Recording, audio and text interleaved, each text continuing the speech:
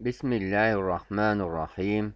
طلبة وطالبات الثانوية العامة بمراحلها الثلاث السلام عليكم ورحمة الله وبركاته.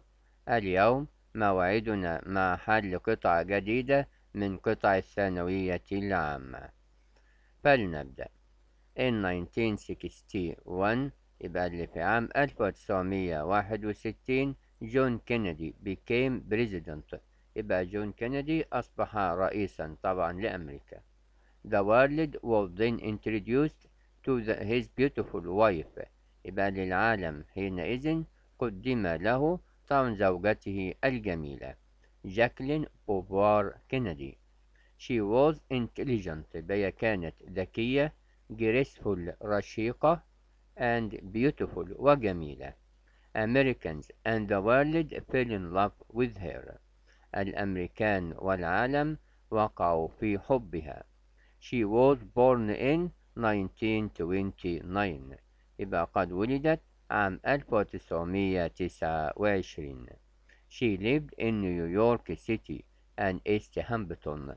يبقى عاشت في مدينة نيويورك وإيست هامبتون لونج ايلاند طبعا دي تبع الجزيرة دي يعني. She loved riding horses. هي حبت ركوب الأحصنة and had lessons at a very early age وكانت تتلقى فيها دروسا في سن مبكرة. She went to private schools ذهبت إلى المدارس الخاصة. Her interests were writing poems and stories. يبقى اهتماماتها كانت كتابة القصص والشعر. Writing poems اللي هي القصائد والستوريز اللي هي القصص يبقى اهتمامها كان كتابة القصائد والقصص. يبقى دولت ممكن نعتبرهم واحدة بيليه اللي هو رقص الباليه and drawing والرسم. يبقى كده تلات اهتمامات ولو خدنا برضو لفظ اللي هي يحب برضو تبقى دي يعني الرابعة اللي هي riding horses. يبقى عشان هوايتها هتبقى قدامنا هماني أربعة. جاكلين traveled all over the world يبقى سافرت في كل أنحاء العالم.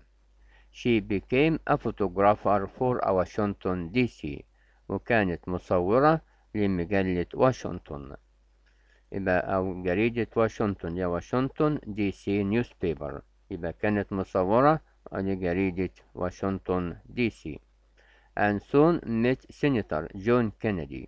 وفي الحال تقابلت مع السيناتور جون كينيدي. طبعا هو عضو المجلس النواب بتاع أمريكا بيسموه senator. She married جون كينيدي بتزوجت جون كينيدي in 1953 يبقى في عام 1953 وطبعا هو أصبح رئيس عام 1961 They had two children كان لديها لديهم طفلين كارولين and جون JR. يبقى كارولين and جون JR. وطبعا دولت اسم الولدين بتوعهم.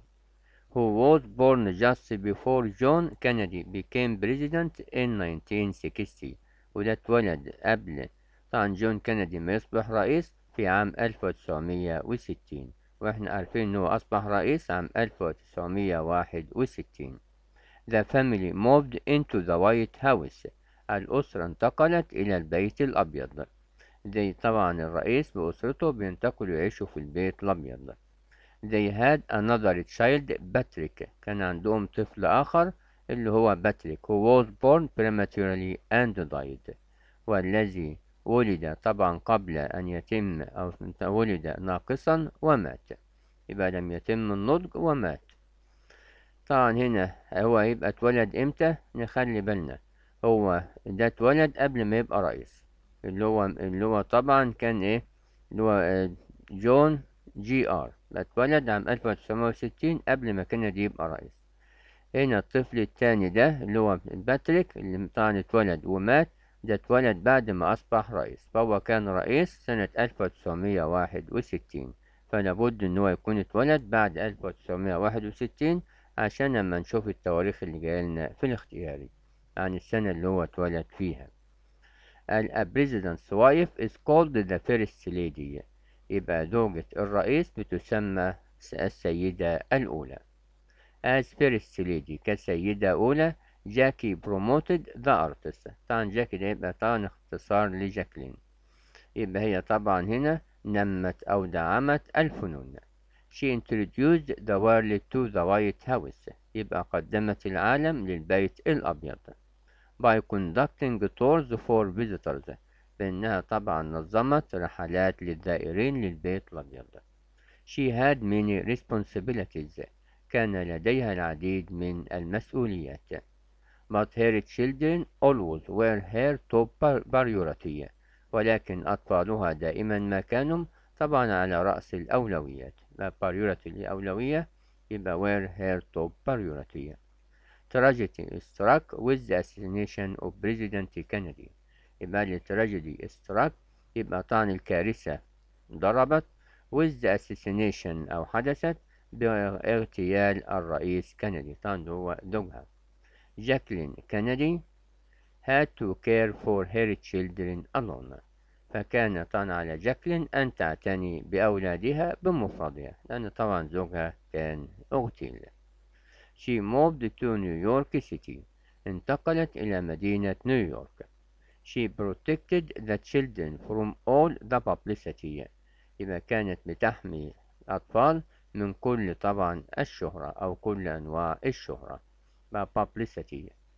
She wanted as much privacy as possible. فهي أرادت طبعا خصوصية أو عزلة بقدر الإمكان. إذا كانت عايزة تعزلهم بعيد عن الأضواء وطبعا عن الصحافة والكلام ده.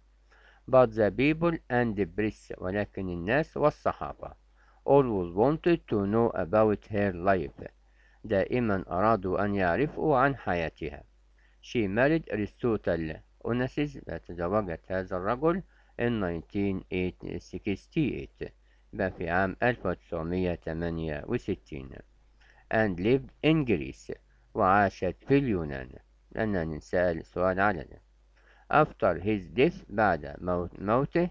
طبعا هو أرسطل أونسيس she moved back to New York City. رجعت مرة أخرى إلى مدينة نيويورك يبقى تركت اليونان. And was the editor for Double Day وكانت محرر الجريدة دي يعني. she died in 1994 وماتت في عام 1994 she is remembered for her grace and beauty. طبعا الناس تذكرها من أجل رشاقتها وجمالها. Her love of words وحبها للكلمات أو الأدب and her family وأسرتها. نشوف الأسئلة مع بعض. أول سؤال. The best title for the passage is يبقى لأفضل عنوان للقطعة هو. طبعا تبقى letter C اللي هي Jacqueline's بوفيار life يبقى حياة جاكلين. رقم عشرين. After reading the passage بعد قراءة القطعة we can say that نستطيع أن نقول أن Jacqueline's character was لأن الشخصية بتاعت جاكلين كانت مالها طبعا تبقى sensitive اللي هي حساسة لأنها كانت عايزة تبتعد عن الصحافة والأضواء والناس وتخبي ولادها في نفس الوقت معها. رقم واحد وعشرين. According to the passage طبقا للقطعة. جاكلين had نقط هوبز طبعا اديناهم مع بعض فوق هيبقوا أربعة. يبقى تبقى فور. اتنين وعشرين. The main idea of the first paragraph is الفكرة الرئيسية للباراجراف الأول هي. طبعا دي اتكلمت عن جاكلين's early life. يبقى حياة جاكلين الأولى أو اللي طبعا بدايات حياتها. رقم ثلاثة وعشرين. We can infer from the passage that the word graceful means. أن ممكن نستنتج من القطعة بأن كلمة graceful هي معناها رشيق؟ طبعا هتبقى هنا attractive اللي هي جذاب.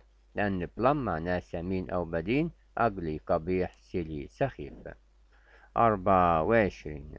Where did Jacqueline live when she married Onassis بل أين جاكلين عاشت عندما تزوجت أوناسيس طبعا زي ما شفنا في القطعة كان الجريس اللي هي إليونان. خمسة وعشرين. Which year do you think Patrick was born in? في أي عام ولد تعتقد بأن باتريك قد ولد؟ طبعا قلنا هو اتولد بعد ما كندي أصبح رئيس وكندي كان عام 1961 أصبح رئيس. يبقى التاريخ اللي بعد واحد وستين هو اللي ناخده اللي هو هنا اتنين وستين. رقم ستة وعشرين. Women in the latest years. يبقى للنساء في السنوات الأخيرة. طبعا هتبقى الإجابة هنا. Have more effective role in society. يبقى لهم دور أكثر تأثيرا أو أكثر فاعلية في المجتمع. شكرا لحضراتكم. والسلام عليكم ورحمة الله وبركاته.